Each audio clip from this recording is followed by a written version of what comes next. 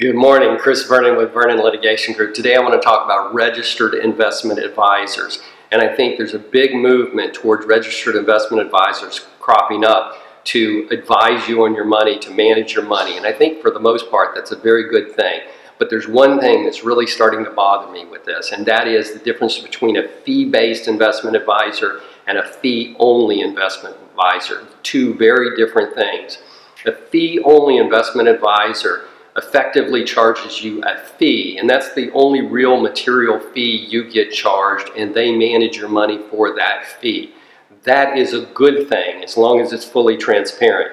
What I don't like is the fee-based investment advisor who says, I will charge you a fee, just like the fee-only investment advisor, but I also may step out of my role as an investment advisor and sell you insurance or sell you other products and earn a commission on it. It's effectively double dipping.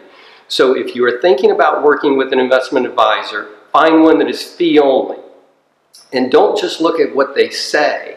Also look at the documentation they want you to sign to verify that it's fee only. And I know it can be difficult reading, but get through it, the part about fees, and make sure that you don't end up signing a document which says your investment advisor is fee-based and is going to charge you a fee plus commissions on certain uh, products that they sell you, which I think is a very bad idea and is a step in the wrong direction for investors. Let's remember, whatever it is, let's make sure our money's working for us and not for somebody else. Have a great day.